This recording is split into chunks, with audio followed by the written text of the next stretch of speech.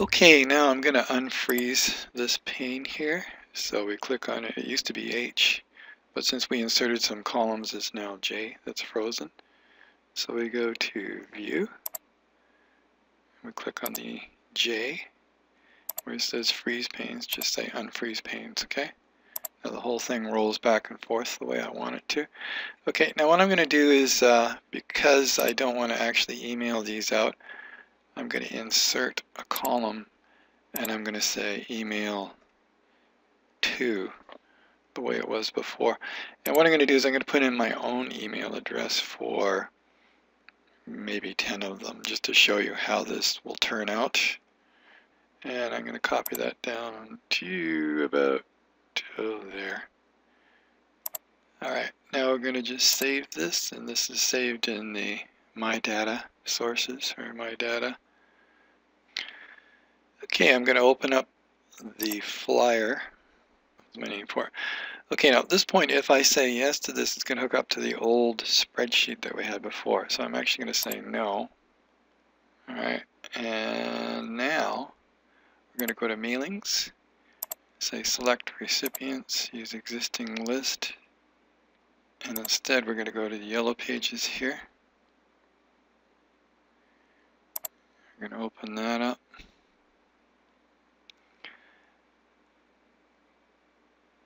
normally it gives you sheet no, uh, sheets in there, but will just say OK to that. Okay, it's going to ask you to substitute some of the uh, the other embedded code we had. So, for instance, we had something named image in the in the other sheet. So this time we're calling it map instead. So you just go down here where it says map. Say OK. All right. Now let's look at this. Okay, it can't find the word company because we called it business name, so go like that. And again, business name, say okay. So hopefully we've made it happy now.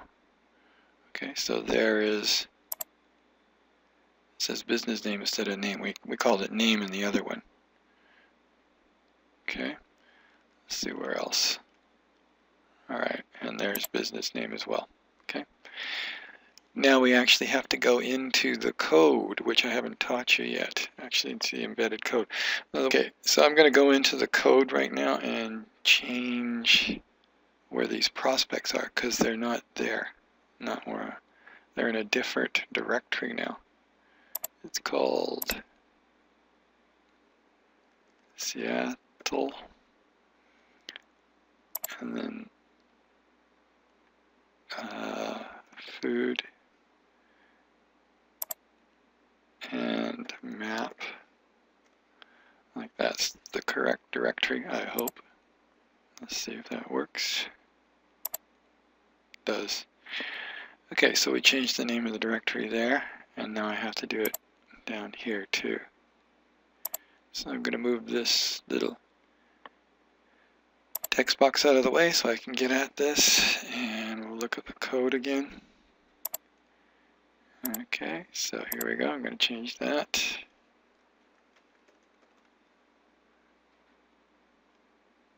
And that worked. Okay, so I've got all my stuff in there. And you can see this thing works too. See that it doesn't matter where you put the boxes. You know, they still work. So we're going to put this one back here. Hmm. Click out here somewhere.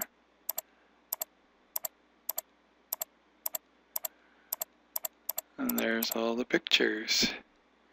Oh, Canvas isn't working for some reason.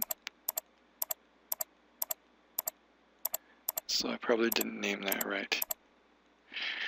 Alright, let's see what's wrong. Okay, to edit the uh, spreadsheet you actually have to close this off and save it because otherwise it gives you a read-only notification. So we're going to find out what was wrong with that. And yes, I did a dumb thing. called it the wrong thing. Okay, it's canvas map dot jpg. Okay, you might find a few other errors here too. So we'll save that. And then we got to close it. And now we're going to open up this thing here. And this time I can say yes because I hooked it up correctly. Alright. So we'll scroll through the top here because it's easier to see the pictures. Uh, we'll go right to the beginning and let's see if we got them all.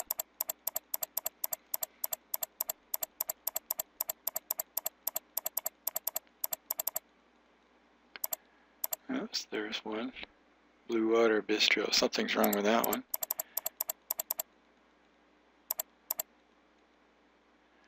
And Max Smokehouse.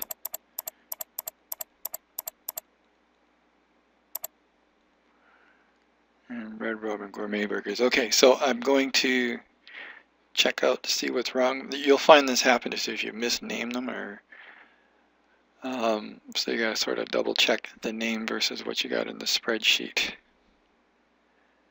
Okay, so even me, who's been doing this for a while, made a dumb mistake. So I've got default in the old folder here, and this new folder that I created down here.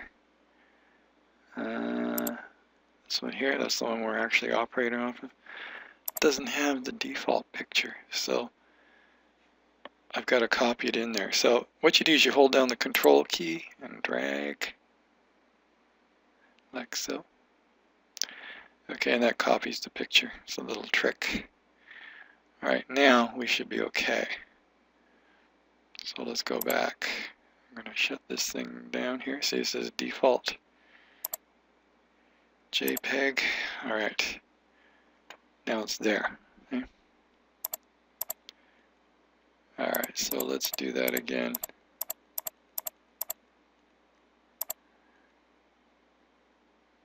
Oh, Max Smokehouse. What the heck's wrong with that? Okay, so, see, dumb mistake. Forgot to put .jpeg in there. So that's why Max wasn't. It's the only one left that's made a mistake. Now, I can't actually edit this while you have the document open. You actually have to save the doc close it and you have to close this and then reopen it. Because you can't edit while the document's accessing it. So I'm going to find that. Put in the .jpg and now it should be happy finally let's take a look at it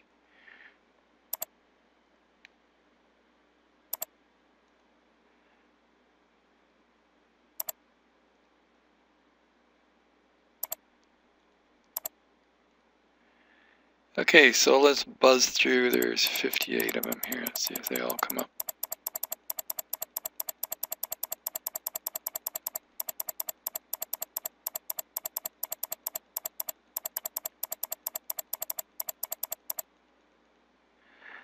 Do. We have success. And of course, that's uh, down here. It's the same thing. Some of them are pretty looking cool. Look at that one. Jalisco. That looks like a very cool website that we didn't build. Okay. Alright, looks like all the wording fits.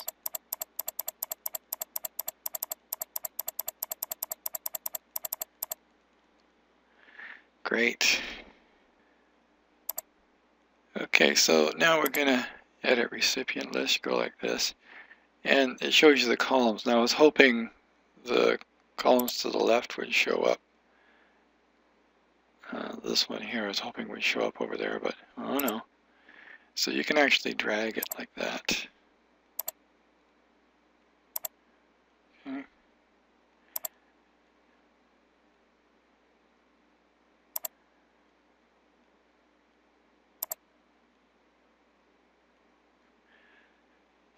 Okay, so we want to select everything with email. There's a couple of different ways of doing that. Now first you unselect everything, and then you can just manually click like this. Okay. Now I think I did the first 10. Let's see, with my, yeah. there's my email address, okay? So we're going to mail those out to me. Alright, let's double check and see if this is, list is correct. It should stop right there. Okay, there's nine of them. Alright, so it doesn't go any further because that's all you've selected here, see? The only one's checked off. That's a real cool way of doing it. There's another way of doing it where you can actually put in a formula with a filter, but I'm not going to show you that right now. Okay, so now we're going to email this. This is the good part. We're going to email it. I'm going to email it to my own address. Okay. We'll send email messages. And it says to where? Well, we don't want that email. We want this one here because that's where my email addresses are. Okay, and then we're going to say all, well, all meaning the ones we've ticked off so far. Subject line, uh, let's see. Okay, so on my subject line I put stop, don't pay for yellow pages. Hopefully that gets their attention. And we can put it as plain text attachment or HTML. I'm going to choose the HTML. The little hazard with that is a lot of spam filters, if they see images and colored writing, will filter that out, but some won't. So sort of taking a chance there. But you got nothing to lose really because you can always just mail this out anyway. See if it works. Okay, so I'm going to say okay.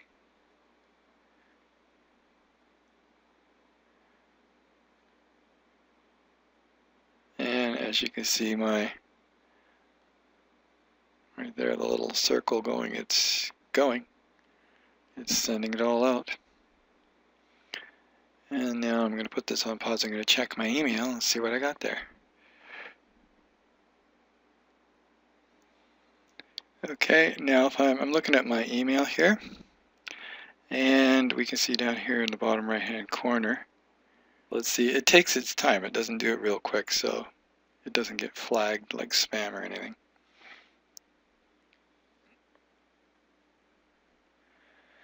Okay, so let's take a look at this. It looks like I did pretty good. Okay, uh, let's see. We'll take a look at full view. Now it doesn't format perfectly like it does on uh, paper, but not bad. Okay, let's look at the next one here. Okay, this is an email.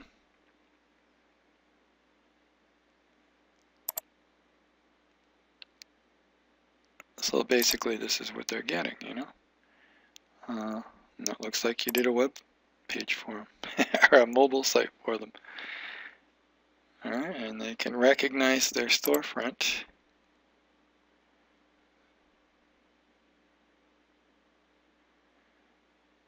Okay, so imagine that's me looking at my place and looking at this. Alright, so there you go. It comes through pretty good as an email. That's how you'd send out an email. Okay, so what's happening is um, Outlook sends the emails and it will send it from the default account. I have five accounts set up here. And that's the default one. So whatever you set as default is where it will send it from. Okay, so one word of caution, if you do this, don't send more than 200 in a batch at once. Because uh, uh, if you're using a Gmail account, I'm, I'm setting up Outlook with a Gmail account. If you want to know how to do that, you just look it up on YouTube. I'm not going to go into an explanation here, but if it's Gmail, do only 200 at a time and wait about an hour before you uh, you might have to wait 24 hours. I can't remember what the rule is, but that's how you use Word and Outlook to send out email. Okay, and if now you, you wait a while, see if you get any results from your email. And if you do, and you don't need to actually mail it, then you can unclick the ones you don't want to print. Okay, now we can print off later on, say it's a week later, we can just go like this and select all of them. If you didn't get a response on your email, and we can just print all of them. Okay? And if later on down the road we say have a tent card set up for whatever we, see, where do we do this here? Uh, tent card, okay. Scroll down, okay. So it'd be that guy there, we only marked off two. And then you just click that one once you've got your tent card uh, template set up. If you got a postcard, well then we check out postcard here. Now you can always drag these over. Okay. To the beginning here. That's a bit of a pain, but uh, I'm going to scroll down find out who's going to get a postcard. It would be that guy. Okay. So that's how you select from your list, uh, selecting documents to print. Hope that helps. So we'll get on to the next lesson now. And this is going to be the one you've all been waiting for. It's the big secret. How do you insert the merge code? What's the trick? How do you keep the pictures from going all over the place? How do you contain them? How do you format them? All the little secrets that took me a couple months to figure out. And I happen to be an experienced programmer, so it took a bit of fooling around research. Uh, but I did figure it out. I figured out all the little rules so you don't have to make the mistakes I did. And that is in the next lesson.